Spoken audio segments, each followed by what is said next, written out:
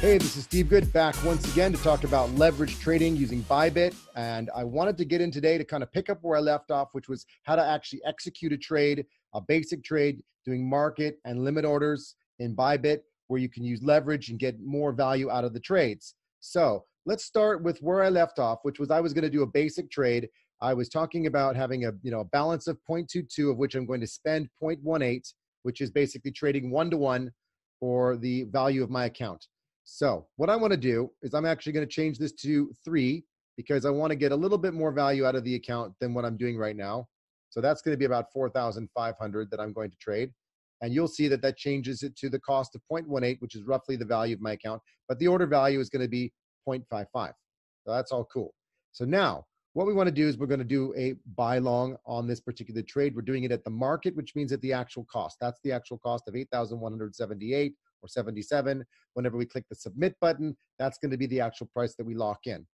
Now, before we execute that trade, two quick things. There's a take profit and a stop loss. I always tell people that before you execute a trade, you put in a stop loss. What's a stop loss?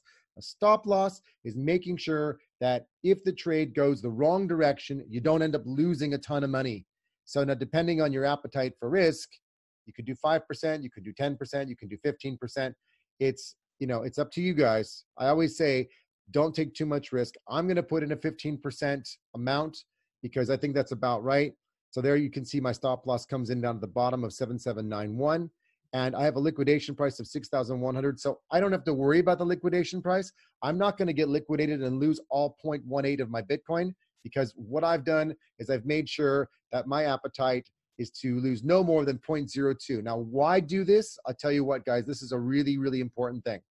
You don't want to be losing money, you want to be making money. It's okay to make bad trades. The thing is, make sure you limit the downside and you increase the upside. So, for example, in this particular trade, I could say that I want to take profit if it goes up 50%, but I want to take a loss if it goes down 15%.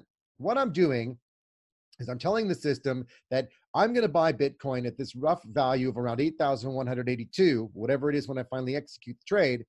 But if it shoots up and goes up to 9,800, exit my trade. Maybe that's a bit too high right now because the market's not volatile, but let's just say for the moment, I'm going to execute my trade. If it goes to 9,817, close my position, I'm going to make 0.09. If it goes down and I get a bit unfortunate and it drops, I'm going to only lose 0.02. Now, that's how you do smart trading, guys. And this is really, really important. That's why I'm highlighting this for you. I always set this up every single trade. This is what I do. I don't always use 15%. I might use 5% if I don't think it's going to drop that much. Let's be realistic. Bitcoin's volatile. So, doesn't have to be 15%, doesn't have to be 5%. I could put an amount like 7,900. That's okay too. But I'm willing to lose 0.02, but my upside is 0.09. As long as it goes up to that level, or maybe a little below that. I could set it down to something like 8,900. I'm still going to make twice as much as I lose. And that is the goal to winning in trading.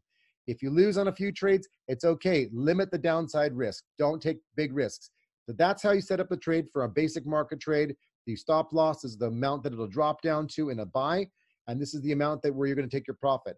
Don't get greedy. Bitcoin goes up and down all the time. So don't worry about it. If it shoots up, take your profits, then look for the next entry. That is the key to all of this when it gets into trading. And that's all I can say about that.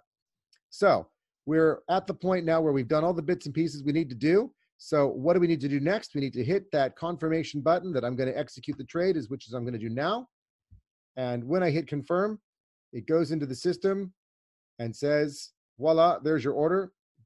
Give me a little error message the first time, but don't worry about that. And now I've got a quantity of 4,500 Bitcoin, pretend Bitcoin, because I'm in a testnet account. And there's the value of the account 0.54. So I've got half a Bitcoin I'm trading. But remember, I only had 0.2 Bitcoin in my account, and I still have up here in the available margin about 0.04 Bitcoin. So that was the 0.18 and the 0.22. Well, that comes out to, you know, difference is 0.04. So that's what's left over.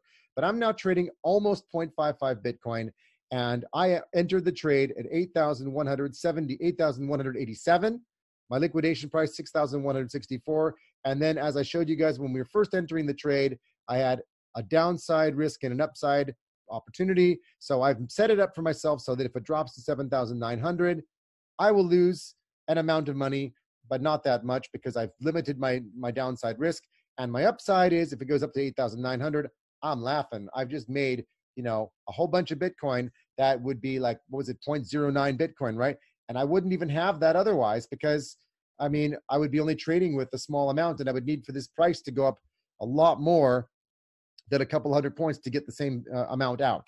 So that's the trade. The trade is set up, it's executed, and it's in the system. That is the basics of how to enter trades into uh, into Bybit for setting up your stop losses and for setting up your limits. The limits is the take profit. That's the limit in terms of how high you want it to go before it exits. So there you go, guys. That's all set up. It's off and running. I'll be back again. We're going to talk about more about how to use Bybit, how to get into this a bit more, talk about how to set up an actual limit order instead of doing a market order, which is a slightly different thing, and then setting up the stop and limit orders the same way in the execution of the trade, just to give you guys a different flavor. And we'll get into all the details down below about the closed P&L, the active, conditional, the filled order history, and tons more. There's lots and lots of stuff in here. So hopefully it was really helpful. Just drop some comments down below. Give us a subscribe and a like on your way out. And I'll be back with more on trading with Bybit and leverage trading. See you guys soon.